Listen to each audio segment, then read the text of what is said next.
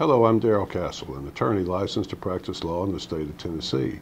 And on this video and a series of videos in the future, I'm going to be talking about medical malpractice or medical negligence. And today on this first video, let's talk about what medical malpractice really is. And to start off, I'm going to tell you what it isn't. It is not bad bedside manner. It's not rude or discourteous conduct by a doctor, a nurse, or some hospital employee. It's not something as simple as a routine traffic accident, a fender bender, if you will.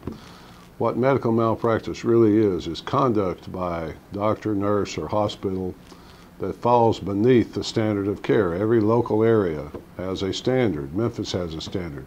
New York City has a standard. Omaha, Nebraska has a standard. And they're all different. So you have to have expert testimony. That means other doctors with specialized medical training who are qualified to give an affidavit saying this doctor, this nurse, this hospital's conduct is not within the standard of care for this local area. So that doctor or that expert has to be familiar with the standard of care in the local area.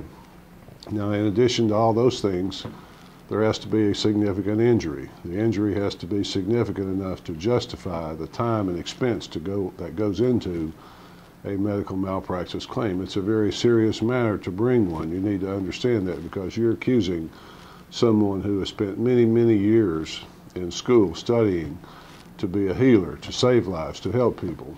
And you would be accusing that person of conduct beneath the standard of care, a serious matter. But nevertheless, it does happen. It does happen. It happens quite often.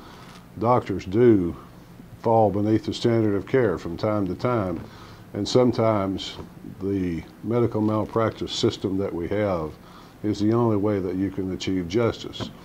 Well, who pays for all this malpractice? Well, that's a good question, folks, and it's a good subject for our next video.